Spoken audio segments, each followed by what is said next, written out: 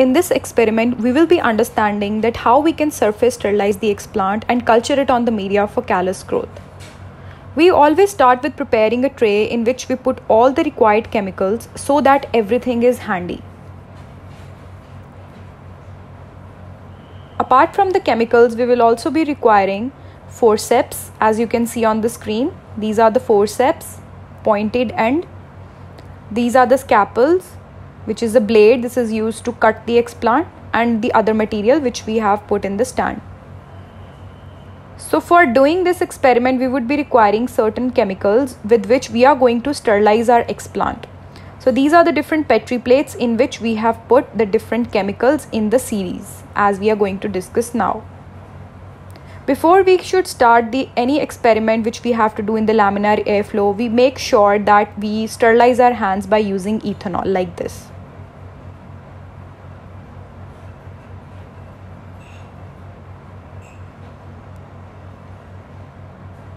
so this is the first petri plate which is containing water. Next is having mercury chloride. The third one we will be putting some ethanol in it. We are putting this on the spot because ethanol can get evaporated easily. So we are doing it when we have started the experiment. The fourth and the fifth petri plate contains water so we are going to use these petri plates and the chemicals in it for the sterilization of the explant. So we will be using the forceps for picking up the explant. So we take the forceps and pick up the explant and put it in the first petri plate which contains water. So we wash and clean the surface of the explant very nicely so that all the dirt material that is present on the surface gets removed. After doing this nicely, we have to make sure that we are handling it very gently and putting it in the next petri that is containing the mercuric chloride. So now the explant is in the mercuric chloride solution. So mercuric chloride is an excellent way of surface sterilizing the explant. Apart from the mercuric chloride, sodium hypochlorite is also used. Now we are shifting the explant from the mercuric chloride petri plate to the next petri plate which contains ethanol. So ethanol also makes sure that all kinds of microorganisms are removed from the surface of the explant before we can proceed towards its culturing on the media. Now we are placing the explant in distilled water so that all the chemicals that are present on the surface of the explant are removed. So at this step almost all the microorganisms and all the dust particles have been removed from the surface of the explant. We are giving a second washing of the water to the explant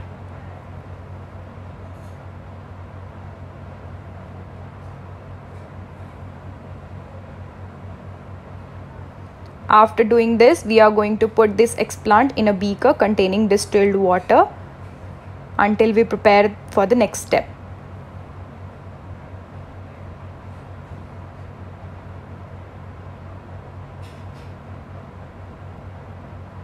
We also light the burner now before we can start the process of culturing of the explant on the media, we make sure that the working bench of the laminar airflow is also clean. For doing that, we are wiping off the surface with ethanol. This we have already discussed in the sterilization methods experiment.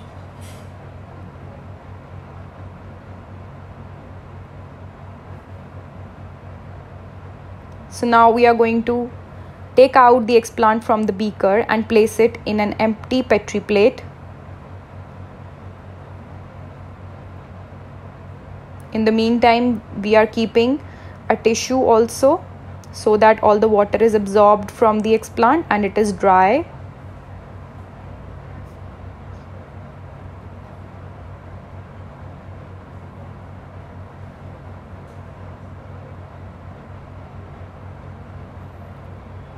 so the next step is going to use this scalpel to cut the explant into small pieces. Because we cannot place this big piece of explant directly on the media. We have to make sure that we are cutting it into small pieces.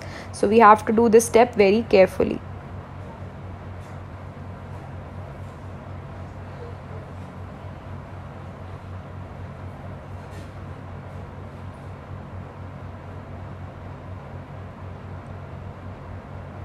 so as you can see that the explant is being cut into small pieces.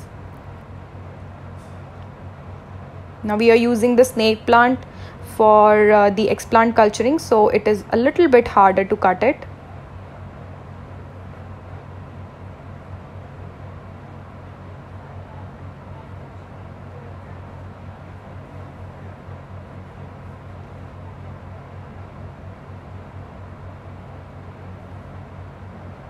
Alright, so the explant has been cut down into small pieces which are ready to be cultured now.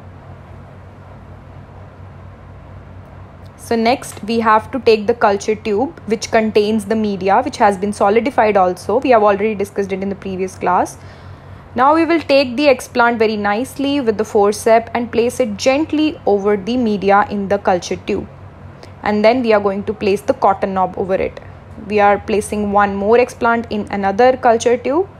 So you can see that we pick it up very gently and push it a little bit into the media like that. And then we place the cotton plug over it.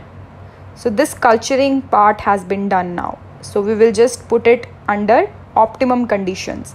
After several weeks you will observe that callus growth has now taken place so from this callus, when we will do the other procedures, we will find out that the rooting will start to take place after several more weeks. And then the shooting will take place. When the plantlet is ready, we can then perform hardening procedure ultimately at the end.